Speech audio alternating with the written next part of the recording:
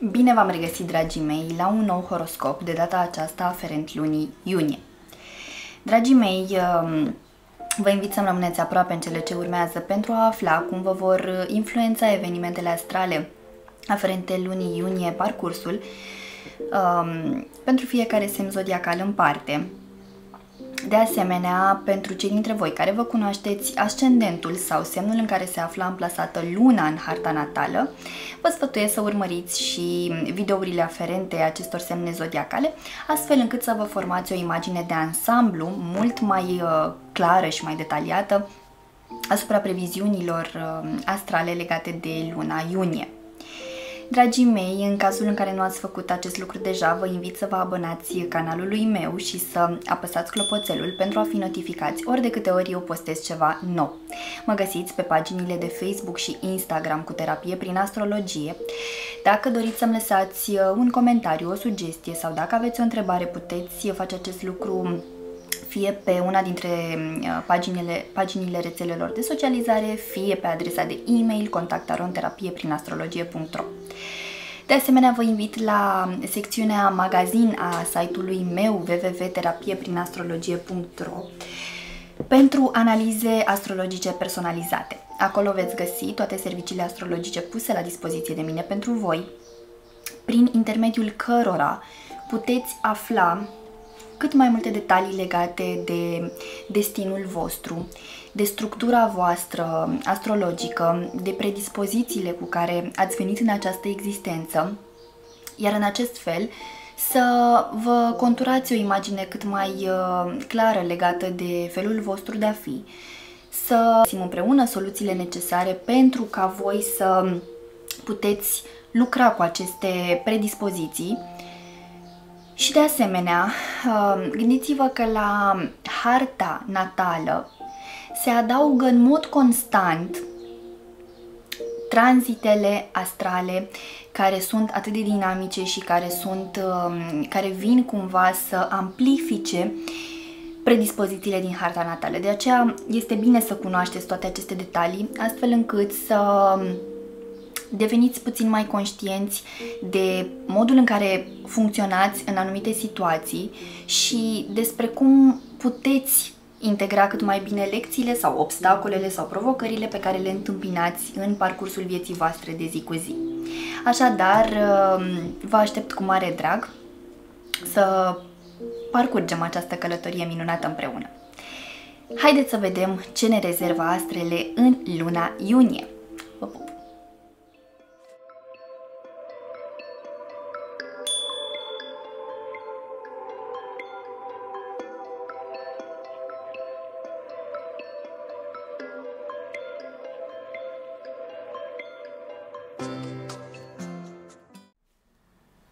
Găsit, dragi nativei Zodiei Rac și bine ați revenit la un nou video, de această dată aferent horoscopului lunii iunie. Acest video este pentru toți cei dintre voi care v-ați născut în acest semn zodiacal, dar și pentru cei dintre voi care aveți ascendentul, descendentul, luna, planetele Marte, Venus sau Mercur, dar și unul dintre cele două noduri lunare amplasate în acest semn zodiacal în hărțile natale. Așa cum v-am obișnuit, vom discuta despre începutul, mijlocul și finalul de lună. Prin urmare, vă invit să-mi rămâneți aproape în cele ce urmează pentru a afla cum vă vor influența evenimentele astrale ale lunii iunie parcursul. Iată că am ajuns deja la jumătatea acestui an și este un moment prielnic în care să facem o retrospectivă a ultimelor luni de zile, astfel încât să vedem cum ne-au influențat evenimentele și experiențele din acest interval de timp și poate ce revelații sau conștientizări puternice au adus în viața noastră. De asemenea, de aici încolo avem ocazia să ne gândim poate la noi direcții sau soluții, astfel încât să reușim să ducem la bun sfârșit și să materializăm obiectivele pe care noi ni le-am setat la începutul acestui an. Pentru voi, începutul de, de lună este unul destul de intens, asta pentru că până pe data de 5 iunie Venus uh, se va afla încă în semnul vostru zodiacal și va influența viața voastră de zi cu zi.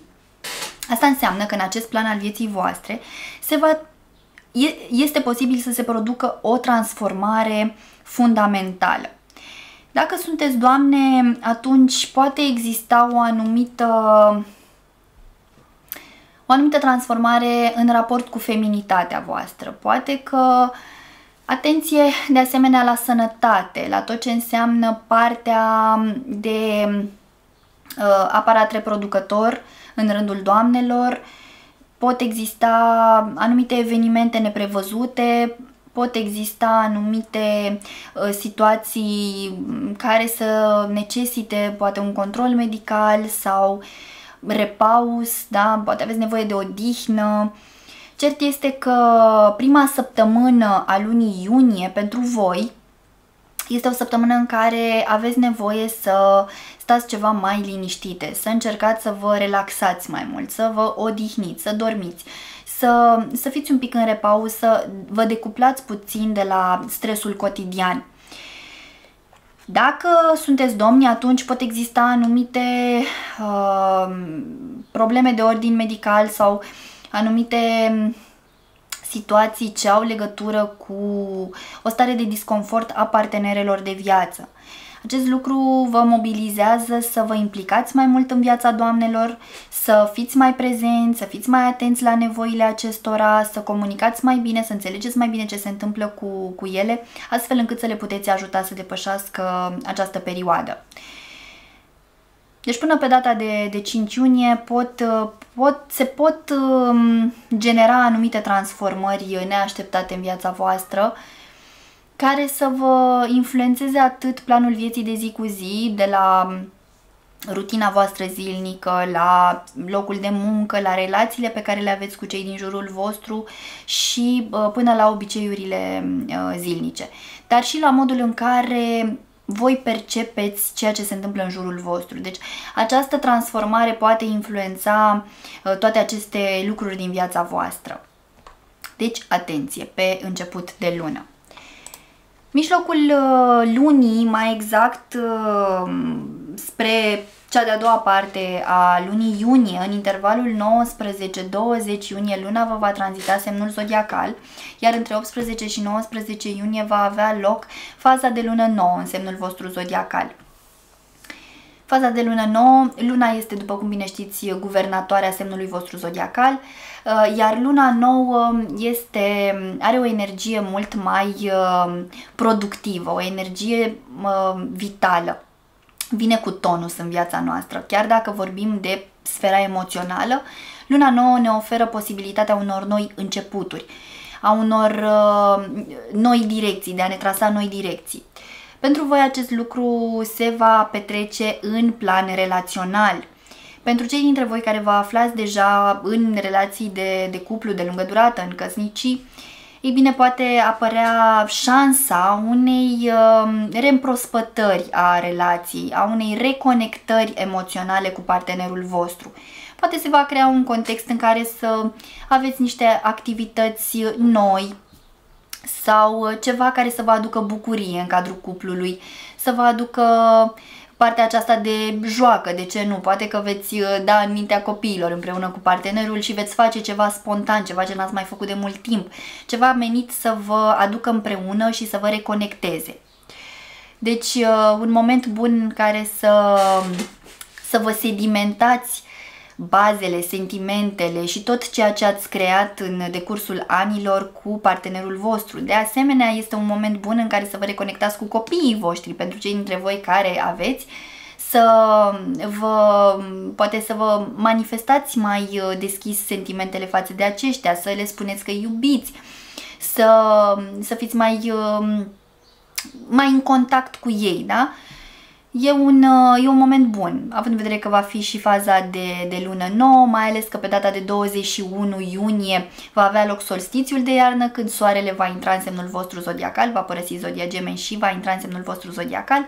Așadar, uh, veți uh, fi încurajat să vă aduceți într-un echilibru planul mental cu planul emoțional, iar acest lucru să vă um, genereze o um, o energie proaspătă, o energie care să vă ofere speranță, să vă ofere bună dispoziție, vitalitate, chef de viață, uh, dorința de a întreprinde lucruri noi sau de a vă seta o nouă mentalitate, de a beneficia de idei noi. Deci este un moment oportun pentru voi începutul lunii, dacă, uh, mijlocul de lună, pardon, dacă începutul de lună va fi ceva mai uh, intens, mai tensionat la nivelul corpului fizic, poate veți resimți așa cum am zis anumite stări neplăcute și poate ar fi bine să vă faceți și niște investigații medicale. Ei bine, mijlocul lunii vine cu o energie proaspătă, o energie vindecătoare, o energie care să vă aducă, să spun așa, pe uh, linia de plutire da? și să vă încarce cu, cu forțe proaspete. Finalul de, de lună pentru voi mai vine cu un uh, element surpriză și uh, anume cu intrarea lui Mercur în semnul vostru zodiacal. Din data de 27 iunie, deci fix pe final de lună iunie, Mercur va intra în semnul vostru zodiacal. Asta înseamnă că mm, vom avea tendința să gândim într-un mod ceva mai uh, subiectiv.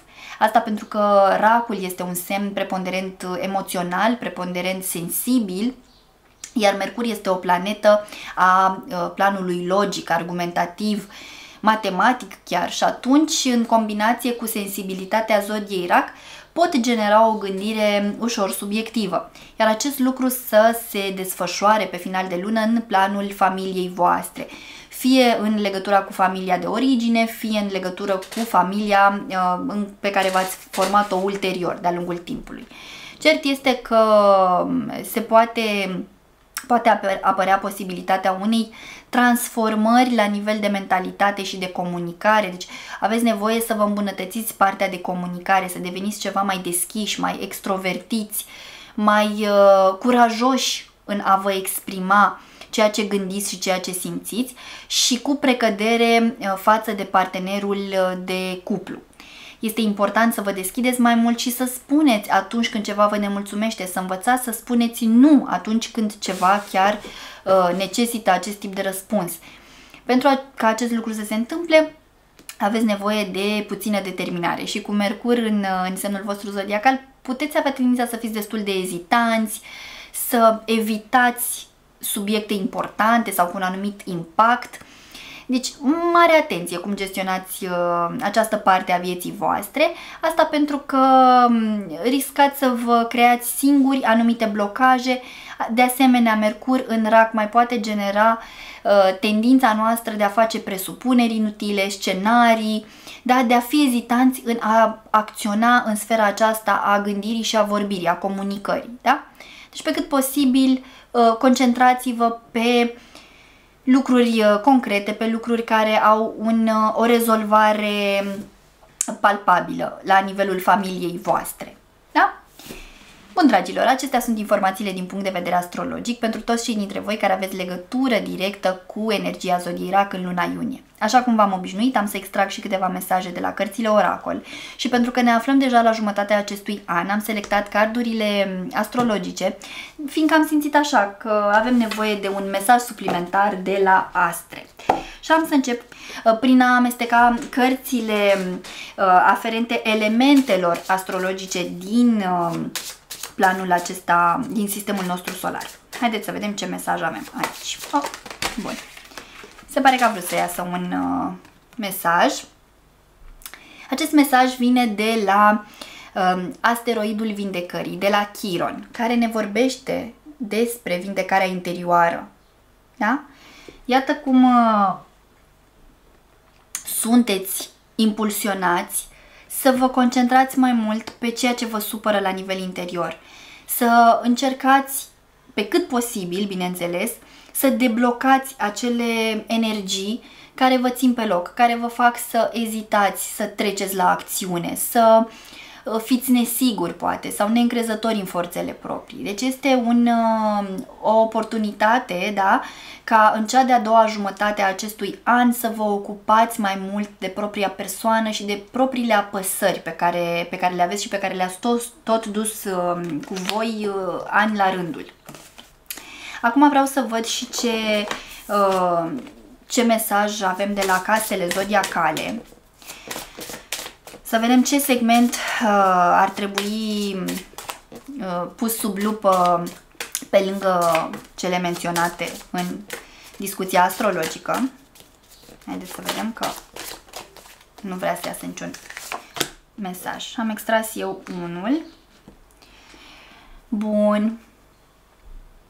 Casa a treia. Casa comunicării și a interacțiunii. Da? Apropo de ce v-am spus, pentru că Mercur vă va tranzita semnul zodiacal de la începutul, de la finalul lunii iunie încolo, aveți nevoie să vă concentrați, să vă îmbunătățiți partea de comunicare în special cu cei apropiați, pentru că acolo aveți tendința să deveniți subiectivi și să nu reușiți să, să vă detașați și să vedeți cu claritate uh, lucrurile sau situațiile prin care treceți. Așadar, uh, uitați cum este accentuată această sferă, această zonă pe care voi uh, o aveți de îmbunătățit sau unii dintre voi o aveți de îmbunătățit și practic vine ca și o confirmare că acesta ar trebui să fie focusul pentru următoarea perioadă de timp, astfel încât să puteți remedia anumite relații, să le puteți îmbunătăți și în acest fel să vă liniștiți și uh, propria persoană și de ce nu să vă vindecați uh, rănile și să vă vindecați uh, rana neîncrederii, a ezitării și a incapacității de a spune nu, inclusiv persoanelor, că de fapt acolo vă vine cel mai greu să spuneți nu celor dragi vouă, celor din familie. Dar uneori pentru binele vostru, pentru sănătatea voastră, aveți nevoie să refuzați și să vă puneți pe primul plan. Bun, dragii mei, acestea sunt și mesajele cărților Oracol pentru toți cei dintre voi care aveți legătură directă cu energia zodiei Rac în luna iunie. În speranța că mi-ați rămas aproape până la finalul acestui video, vă mulțumesc din inimă și vă invit să mă ajutați cu o apreciere și o distribuire a acestui video tuturor celor cărora credeți că le va fi de folos. Vă doresc ca luna iunie să aducă toate binecuvântările de care aveți nevoie și să vă aducă acea putere de a ieși din propria carapace. Dragilor, vă pup, vă îmbrățișez și pe data viitoare. Pa, pa!